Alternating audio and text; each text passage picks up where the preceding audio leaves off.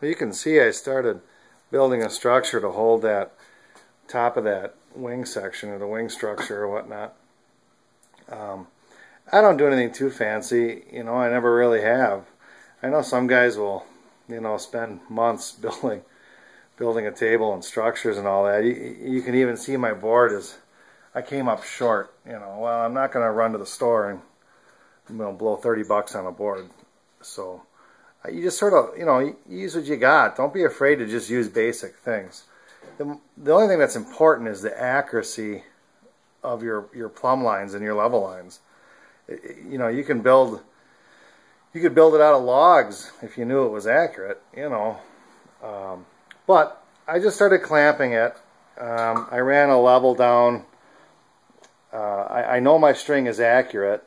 And I knew while building it, it was accurate too because instead of leveling everything when I built that structure, I used a tape measure. Um, I just sort of wanted to test myself and just see how true it ended up. So I started measuring the corners and I used clamps. Then I threw a level horizontally and uh, was on the money. Absolutely on the money.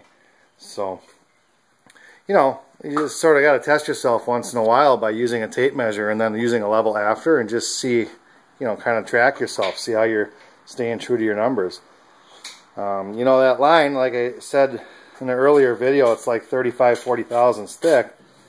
You know, so I just, nothing fancy. You know, the bottom of the level is plastic. It's got a little radius. Well, that's hard to bring on that line. So I just take this, bring it right up, okay? And I want to make sure that I land in the middle of that blue line. So I'll be close to the center. I'll be within probably 15 thousandths, which is pretty damn accurate. Okay. Uh, again, you don't need to use a laser level and transits and satellites. You know, you just use common tools. Use your head, right? Um, that level, I've had that for years. It's been through like battle zones. I've done sewer work with that. Um, miles and miles of sewer work beat up in a truck. That, that level is very accurate. You know, cheap levels still work pretty good. Um, there's the front. I marked the center line. You can see there. So I'm just slowly going to start kind of dialing things in. I'm going to use a, a two-hole strap up top. Okay, I'm going to screw that down. You can see my first line I screwed up, so I had to kind of remark it. But uh, I'm, just, I'm going to cut that pipe or tube, and I'm just going to go straight with it. And that's going to be where I'm starting from, and then I'm going to start making my drops.